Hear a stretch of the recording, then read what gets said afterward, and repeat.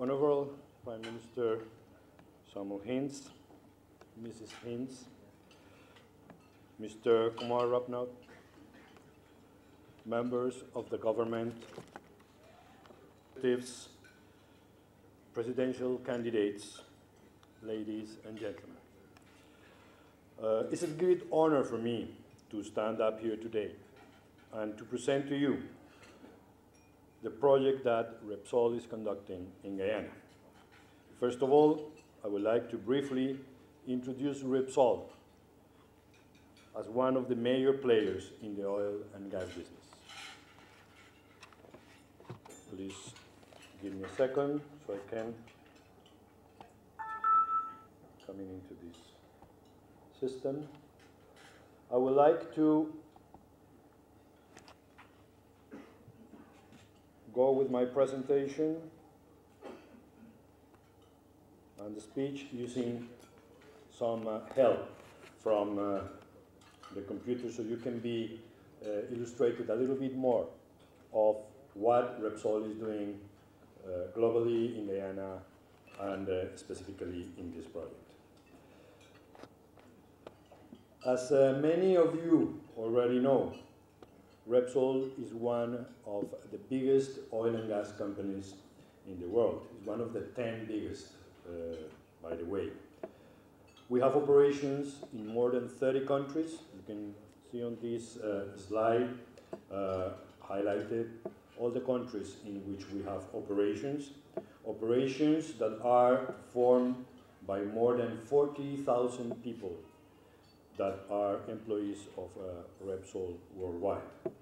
We have businesses in all the value chain of the oil and gas, starting from the exploration itself, passing through the production of oil and gas, going into the retail business of selling fuels and lubricants, in the refinery business, and in the gas business with the LNG. We effectively operate in places where are not easy for any other businesses. These two here are examples of uh, the exploration commitment that we have in places like Brazil in South America or like the United States or Alaska in North America, just to name a few of them. And you can see on this slide that uh, we are pursuing heavily exploration activities in these two countries. Each of the little magnifying glasses that you see in the slide are different exploration activities. And those that has the drilling uh, rig uh, sign are the production ones. As I was mentioning, we are very successful operating in places as difficult and different as the Sahara Desert in Libya and Algeria, or in the cold New Brunswick in Canada, where we have the first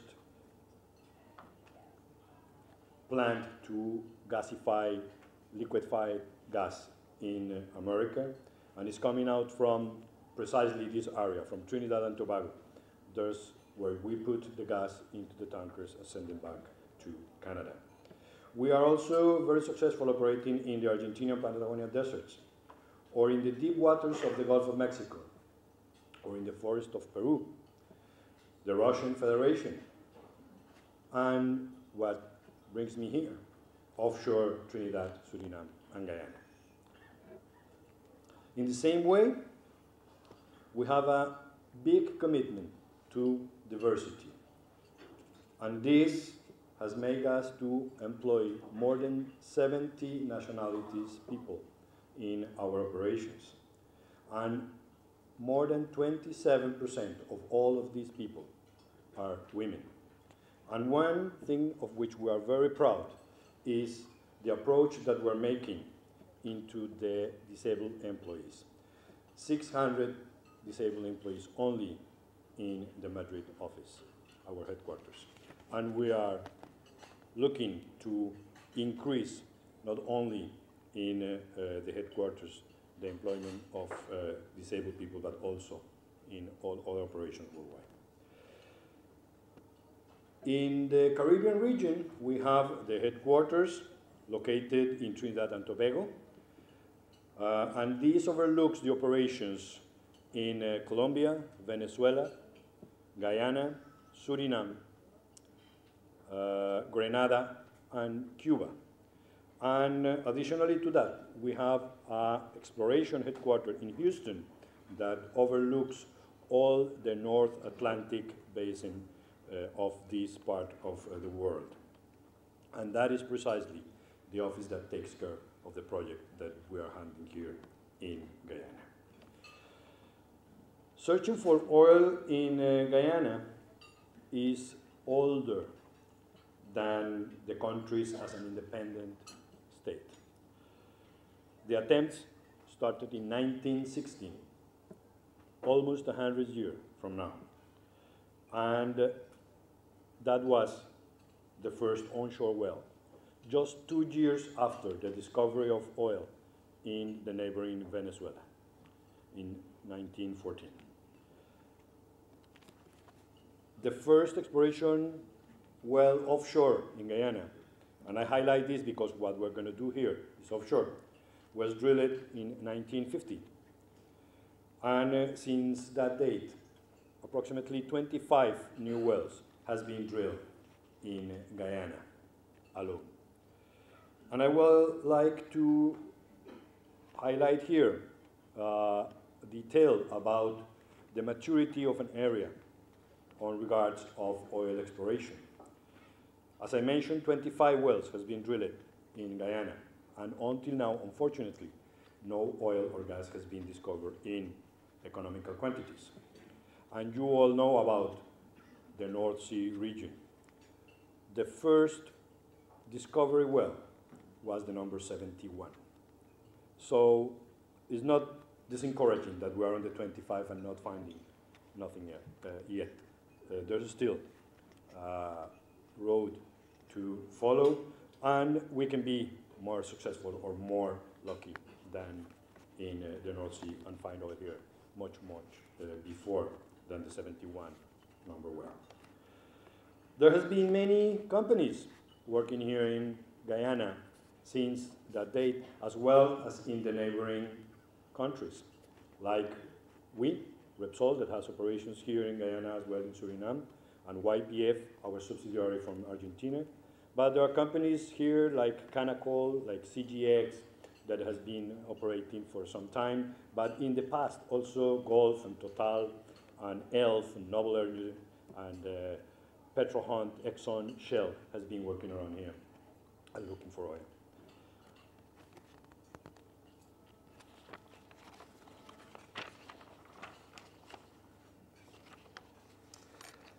In Guyana, Repsol arrived in 1997.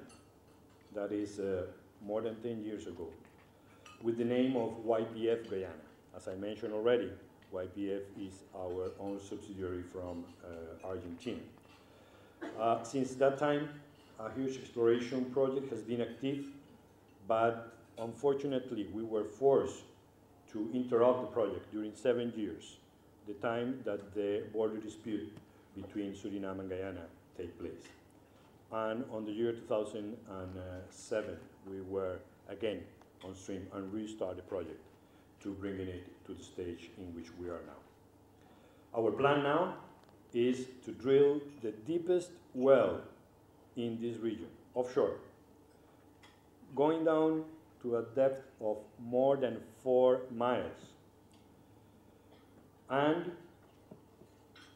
operating under conditions that are technically challenging. This is what we in the industry call an HPHT well, meaning a high pressure, high temperature well. And when I say high pressure, I'm talking about 17,000 psi pressure. And when I say high temperature, I'm talking about 400 degrees. So the type of equipment that we need to use to go ahead are specialized tools that are not regularly used in other wells and uh, that need to be uh, under uh, very stringent performance conditions and to provide the information regardless of that.